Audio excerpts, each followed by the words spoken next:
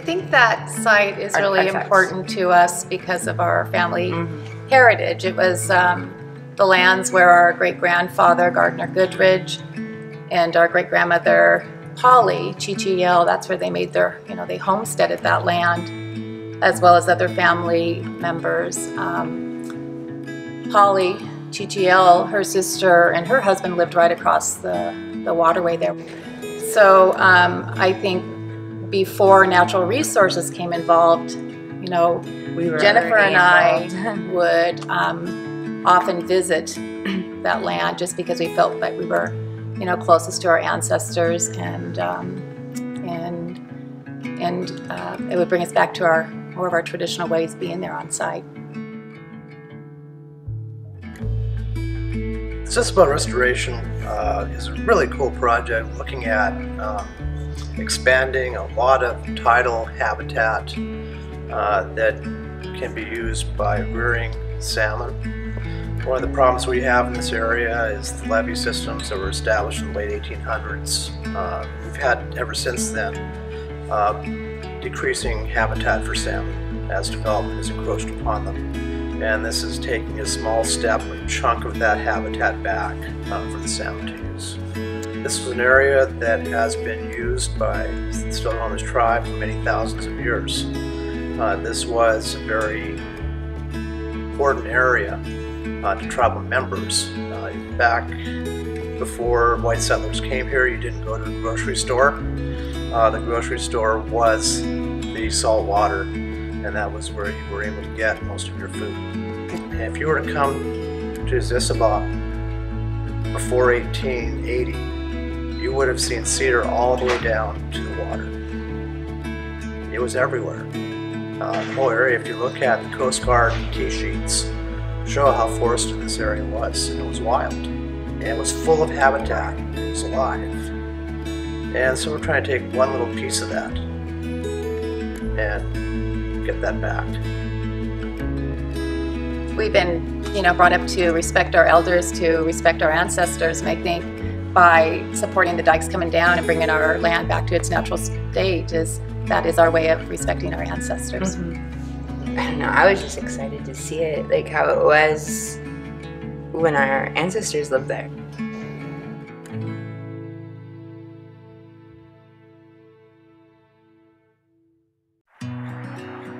I became involved in this project originally because Sky Miller of Cardno was working on some of the design and permitting for the project with the Stillaguamish tribe.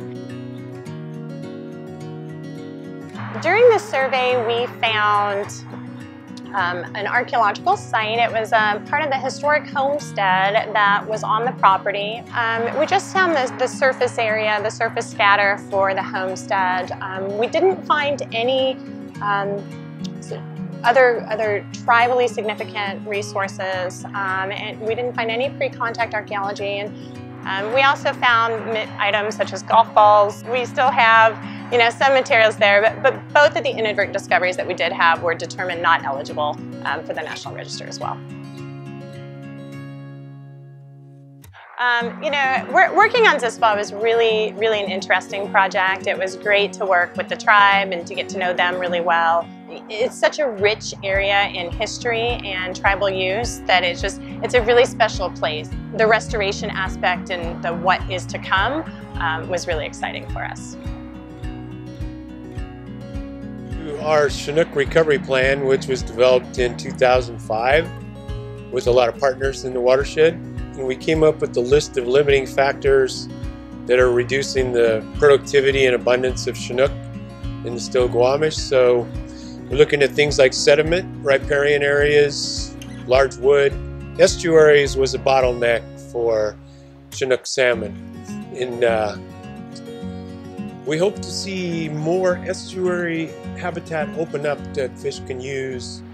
The estuary as a bottleneck is really uh, an area where we can get a lot of return of adult fish and they can spawn successfully. They can reproduce. The young will come out of the gravel, migrate downstream, and then there's not enough estuary for those fish to make the journey they need to make. So think the best way to look at it is think of it as a nursery.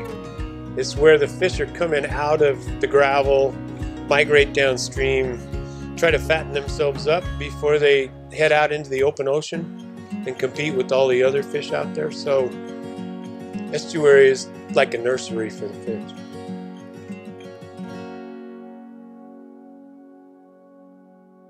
The project at Zissaba was challenging um, on several fronts. Um, if, if you've ever been out to the site, you realize it's in the middle, kind of in the middle of a pretty built environment. It's right across from the city of Stanwood. It's right in the middle of um, agricultural operations that are, are pretty intensive. And so working in that sort of environment, there was a lot of um, concern that restoring uh, tidal access and river access to the property could impact those stakeholders. And so they were pretty nervous. And so we tried to build trust with those stakeholders and meet with them over um, time, but it took some time. There was um, there was a period where we weren't sure if the project was going to go forward. I mean, there, there, was maybe the talk of legal challenge and, and that sort of thing, and we really worked with the stakeholders to understand what their concerns were, and then we worked with Cardno and the engineers to make sure that those concerns were dealt with in a way that um, that was robust, and we felt confident that we could promise to be good neighbors and not, not impact their, their interests. So the day we had planned to, to breach the dikes and let the tides back into Zissaba also happened to correspond with probably the strongest windstorm of the year. And it was steady 30, 40 mile an hour winds, gusts over 50. Um, it was a high tide any, anyway, um, which we wanted because we wanted to, to uh, have that low tide that is associated with the high tide. So we, we needed the low low, but the high high was about 16 or 18 inches higher than the engineers had forecast. And with the wind and the tidal surge, the storm surge, um, it was a little bit, things went a little sideways. So we had only planned to work on one side of the project and it was separated by a berm that ran down the middle. But it was pretty obvious about three quarters of the way through the tide that that berm wasn't going to hold the water back and the, the elevation that we thought the tide was going to get to was was definitely lower than what the tide was going to get to. And so it started spilling over into the other side where we weren't working, and that has a, that had us scrambling a bit. But the contractor, Trimac, they came up with, and, and Dan and Sky, uh, the engineers at Cardno, came up with a plan to kind of modify the next few days of operations to deal with that extra water that then was trapped in the site. So we had to let that water out before we could finish all the rest of the breaching around the perimeter of the site. Um, but at the time, it kind of kind of I guess, recalibrated everyone to what Mother Nature can do. And uh, it was a good reminder that she's in charge. Uh, we're a team of river engineers and scientists. Uh, more than half of what we do is salmon habitat restoration in the Pacific Northwest. Zissaba is a project. It used to be an estuary. Uh, for the last hundred and some years, it's been diked and drained and farmed. Uh, so my role was as engineer in my team of uh, geomorphologists and fish biologists permit specialists, and archaeologists, and design engineers, and hydraulic modelers uh, looked at this site to see how we could uh, replicate what was there in the past to create a maximum amount of habitat that we could. So in order to create habitat, we're going to breach the dike in several locations uh, to flood it twice a day with the tides to recreate that estuary. As important as restoring the habitat was the protection of our neighbors. Zissaba was the first major tidal wetland project that the tribe uh, has undertaken. And so uh, there's a, a, goal in the Chinook Recovery Plan of several thousand acres of tidal wetland restoration in the Stillaguamish Delta. So we're going to need to be doing quite a few more projects in the future. And so this was a great experience for the tribe and for our staff of the tribe on, on how to, to undertake these projects successfully and, and work with the local community, work with the stakeholders and their concerns, and really come up with a project that um, protects their interests, um, builds trust across those, those stakeholder relationships, but yet still does something really um, significant for fish and wildlife populations that makes progress towards those ambitious goals.